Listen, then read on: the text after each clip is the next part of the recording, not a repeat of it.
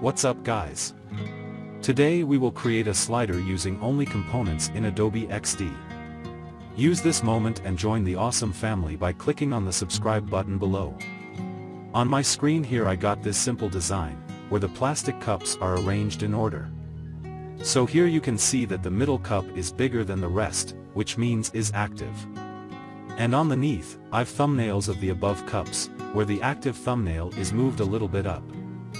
First, pick the rectangle tool and draw a rectangle over the images. Click on the radius and drag it to the center to burn the edges.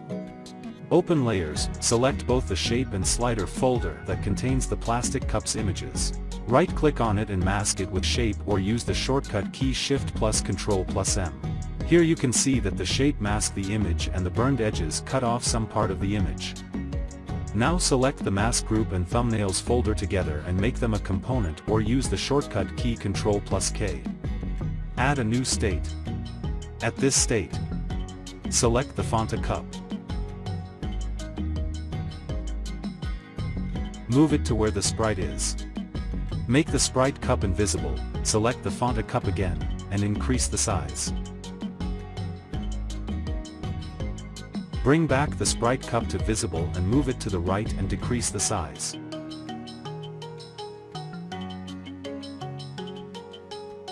Move the Fanta thumbnail a little bit up and bring back sprite to the same level as Coca-Cola. Doing this will help us create up and down movement between the thumbnails when clicked. Create another state which is state 3. Here I will move all the images to the left and increase the size of the Coca-Cola plastic cup. Place the sprite cup in the middle of the mask edge. Decrease the size of the Fanta as well. Move the Coca-Cola thumbnail up and bring the Fanta down. So all the design part is done. Now is the time to animate. Move to Prototype tab. Select Fanta and click on the blue handle.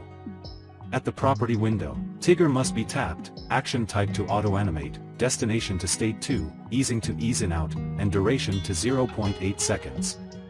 This means if I click on the Fanta plastic cup it will take us to state 2 component. Select the Coca-Cola thumbnail, click on the blue handle, and set the destination to state 3. And set Fanta thumbnail to state 2. Switch to state 2. Select the Sprite plastic cup. Click on the blue handle and set the destination to the default state. On the thumbnail select the sprite again and set the destination to the same state which is the default state. And set Coca-Cola destination to state 3. Switch to state 3. Select the sprite plastic cup. Click on the blue handle and set the destination to the default state. On the thumbnail, select the Fanta and set the destination to state 2. And set sprite destination to default state. I did not set the destination to the Coca-Cola plastic cup in the default state.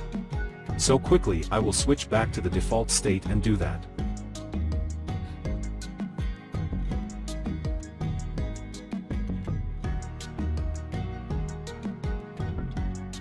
Now let's preview the animation. Wow!